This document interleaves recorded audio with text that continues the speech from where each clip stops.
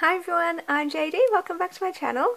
So I am here to announce the winner of the April Journal Challenge and then to announce the new prompt for the May Journal Challenge and the heart behind that and a bit of a story. So, Keanu's come to say hello. You gonna sit there while we announce the winner? How exciting! Oh, he's gonna push off the basket. Alright, so the winner of the April challenge will receive this journal. One of my earlier journals I made. It's a bit more uh, eclectic and yeah, it shows my earlier style. So I hope whoever wins really likes this journal and can make good use of it. And the prompt for April was memorable year. And yeah, if you'd like to check out all the entries that came in, I'll leave the link below to Willowbound Journals, the Facebook group. And they're all there. And yeah, I'll link below all the playlist to do with the journal challenges, including my own uh, spreads I do for them, and the intro video just showing my heart behind the challenge and my heart for journaling. Alright, so I'm going to look away in case they pop open. And let's pick one here. Alright, I've got it in my hand. And we're going to open it together. It's Lisa! this is so fun. Lisa's been pretty good. I think she's done every prompt. So congratulations, Lisa. Um, and I love that you are using one of my own journals that I made to um, do your prompts in. That's so exciting. Um, yeah, and just a reminder to everyone that you, if you don't do the prompt in a certain time frame, like it goes for the month to enter the monthly challenges, but there's going to be a yearly challenge end to it all. So if you, oh, Keanu, he just missed the table. Honey, you okay? Oh, honey, honey. Misjudged that leap, hey. Oh, you want to play with those? You can do that. Poor little thing. Um, yeah, so even if you don't do them in time for the monthly challenges, if you do all 12 prompts eventually and share them on the Willowbound Journals page, there's going to be a um, big prize, I don't know, a journal for the a yearly grand prize winner, as, as well as these monthly ones. So I'm going to put these away so he doesn't jump on it. and yeah, Lisa, if you can let me know your address, my email will be below, or contact me through Facebook and Messenger or whatever, and I will send that to you ASAP. Awesome! Alright, so the May prompt, as you can already see, no surprises, it is gratitude. And the reason I chose this one, okay, so, story time. uh, well, I think that gratitude and being thankful is a good quality to have in life anyway.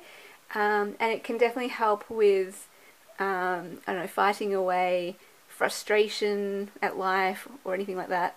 Um, and of course, we do have so much to be grateful for, so it, it um, is a natural response we naturally should have, I suppose. But yeah, I even though yeah, I've tend to be a grateful person, I suppose, in general. it wasn't necessarily something uh, that I completely, you know, wholeheartedly valued on a deep, deep level. Like, I love it and agree we should be grateful, but um, I think I can take things for granted a lot, and so that can hinder being really grateful, uh, especially growing up in Australia and everything. You just have everything, and it's easy to take things for granted and think this is normal and to have an opinion that you're entitled. Um, maybe it's just my generation or something, but to think that, um, well, yeah, of course I have to have that or deserve that or need that because I have everything. I don't know, because my culture says I can have any anything, anytime, whenever I want, and you can really just take things for granted. And yeah, I don't know if anyone can relate to that, but um, maybe that's one reason why gratitude wasn't like a deep, deep thing for me because I didn't realize how much I should be grateful. Um, and then I went on um, beach missions, so it's a 12, 12 it goes for two weeks in January usually uh, every year, where a bunch of us would go down to the beach and run a holiday program for families down there. Um, and I served on this team for 12 years and I loved it. It was the best time of my life. Every time I went there, it was the best time of the year. And but I found that I needed to let go of it and close that door to step into some new challenges and new doors. Um, so yeah, I've just felt God say it's time to close this door to Beach Mission to this chapter of your life, and walk into a new adventure. And I was like, yeah, well, that was great, awesome. And then I went to my last beach mission to say goodbye to it. And then it was all great and I was all excited. But then the last few days, I was just in tears. And I became very, I guess, um, in a way, angry and bitter because all of a sudden I realized this is what I was leaving. And I was like, God, how could you ask me to leave this? How could you ask me to say goodbye? And because just being there just reminded me how good it was and how much I loved it, and I was just like, "What did I really hear from God? Right? Am I really supposed to close the door?" And I was like, deep down, I knew. like when you hear God's voice, you know. and I was just like, "Oh, but God, I want to stay," and I was just like angry at Him that He would ask me to leave. But then on the last night, um, a, a, few things happened. But on the last night, I just came to the realization that, um, well, okay, Keanu, I'll give you cuddles. Um, this lady was reading about a book and some things from Timothy Keller about the Psalms, and she just mentioned this thing um, about how the campers there, the families, might be sad when we go at the end of the two weeks. They could be sad that we're leaving and we have to say goodbye. But she said they shouldn't be, you know, sad that we're leaving. They should be happy that we came. And I just thought that is a great way to look at it, and it completely changed my attitude in that moment. You know, don't be sad to say goodbye. Like, of course, you're going to be sad, but just remember all the joy that you had and be thankful for that joy and let that overwhelm the sadness. So, of course, feel your joy. I mean, feel your sadness, of course, not dismissing that. But um, it just put it all in perspective for me. And on the last night, I was like, I wasn't sad or angry or bitter at all anymore because I was like, I wasn't looking at what I was losing. I wasn't looking at saying goodbye. What, even though I was, and it was there was this bittersweet moment, of course, but the overwhelming feeling that I had was gratitude. I was so thankful that I got 12 years of beach mission, 12 years of this amazing time of this fun with the team and this growth that I went through on that journey and I was like, oh my gosh, this one little goodbye right now is nothing compared to 12 years of pure, like absolute joy at serving on this team. And uh, yeah, it just changed everything. Like it wasn't, it was still, you know, that bittersweet moment, a little bit sad to leave, but I was able to let go and move on and know that, wow, that was a great time in my life. And just fully embraced that joy and yeah, because it just really hit me that 12 years on beach mission, like not everyone gets that. I, I was on the team that long that I could see that um, a lot of people only stayed for one year or did it for two years or maybe three or four, but doing it for 12 years is like what a gift. Um, not everyone can do it money wise, they don't have the time to do it or whatever, but God somehow made it possible for me to do 12 years in a row, and what an amazing gift He had given me and hey honey. Um, and so that's my attitude that I kind of take into anything now in life. So I suppose it was just a really great lesson to learn because it, it, can apply to anything else you know. Um, if you have to say goodbye to something or let go of something some sort of chapter in your life or if you're moving house or ah um, or you have to say shut the door on a friendship or a relationship or um, whatever. So it's rather than thinking, oh man, this is the worst, uh, I'm so angry at this situation, it's not fair, and why did this happen, and whatever. Instead, go, hang on, look back at the time that you did have, like, I don't know, in that house. How amazing was it that I got. Um, what? Uh, for example, I had to move from my childhood home when I was 19. And so 19 years in this amazing house. I loved the house. And to say, goodbye to it could have been like really, really, really hard. Um, this was ages ago though. this was way before I learnt this prompt. I mean this this lesson. Um, and even now, I could be like, oh man, I wish we didn't have to leave that house. I wish we were still living in that house.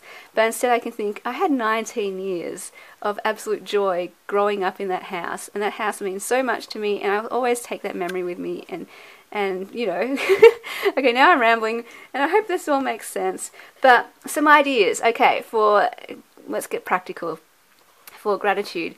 Maybe you want to write a list, a gratitude list. Maybe it can be 10 items long, 100 items long, or maybe just your top three things you're grateful for. Maybe it could be overall things you're grateful for in life, or maybe like just this specific day that you sit down to write what are the three things you're grateful for right now in this moment.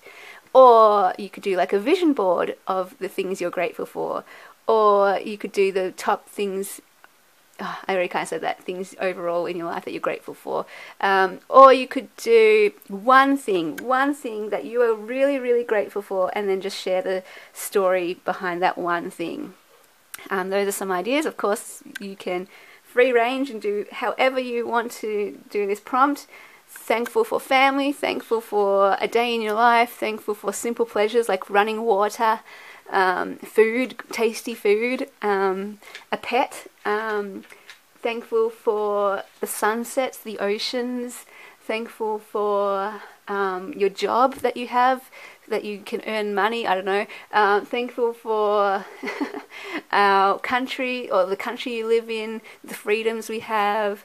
Um, I don't know, there's so many things we can be thankful for, right? A conversation we had with someone, a movie, a, a song that spoke to us, a book. Uh, and I'm not sure what I'm going to journal about. Uh, maybe that whole beach mission thing I'll journal about, or I don't know, maybe I'll journal about a whole bunch of things. So, yeah, if you want to do more than one page spread, go for it. Um, but do whatever you want.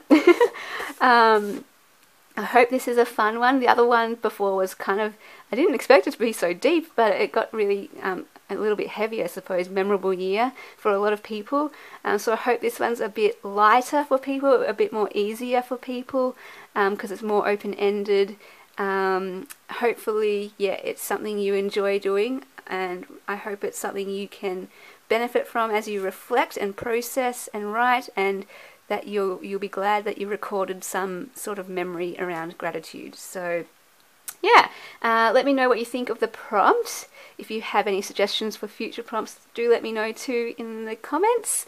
Uh, let me know if you're going to participate. And yeah, go check out Willowbound Journals if you want to see the entries and if you want to enter yourself. Oh, how to enter. that would be a good way to, a good thing to say. Um, so share your page spread on Facebook or YouTube or Instagram and the Willowbound Journals group. Uh, you get one entry for each of these things, except for that one. That's just a given. Like that's where everyone can see everything.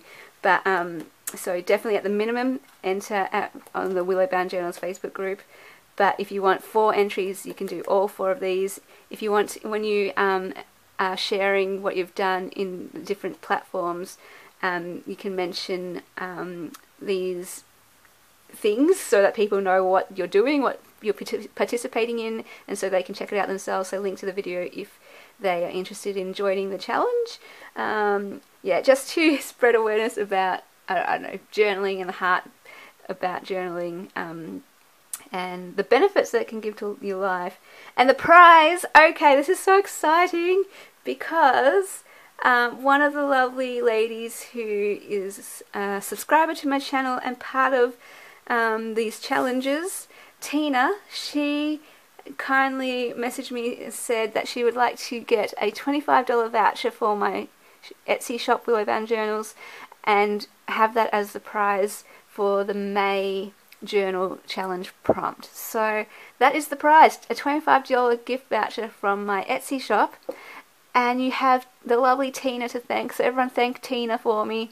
What an amazing gesture. Um, I totally get her heart. You know, she just wants to um, give something to someone else just because she wants to, you know, because that makes her happy. And I love that. That is, I catch that heart. I catch that and totally love that. And um, I'm sure you guys do too. so, because this community is one of the things that really stands out is how generous everyone is. So, Thank you so much, Tina, and thank you to everyone who has entered so far. I absolutely love seeing what you come up with, and I really do hope it's it is helping you or giving you some joy doing this, and it's not just you know a challenge um, to get a prize or um, I don't know to show me. It's like literally.